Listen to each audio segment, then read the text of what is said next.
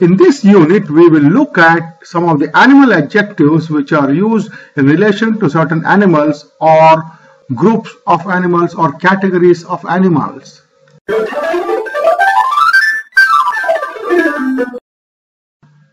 Anatine refers to swans, ducks and geese. Anguine refers to snakes. Anopheline refers to a type of mosquito that transmits malaria. Aquiline refers to hooked or curved like the nose of an eagle.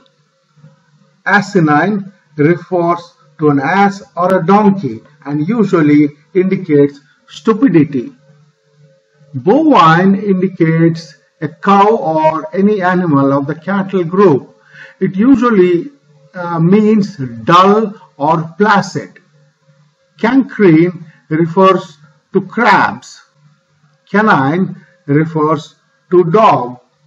Cervine to deer. Cetacean refers to dolphins or any of the uh, large uh, sea-going mammals like dolphins, porpoises and whales. Columbine refers to doves. Corvine refers to crows. Crocodilian refers to crocodiles. Cygnine refers to swans and usually indicates grace and beauty of movement. Elephantine refers to elephant and usually refers to its large size. Equine refers to horses, falconine to falcons.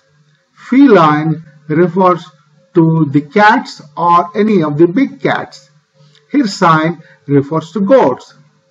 Hominine can refer to gorillas or gorillas, chimpanzees and humans.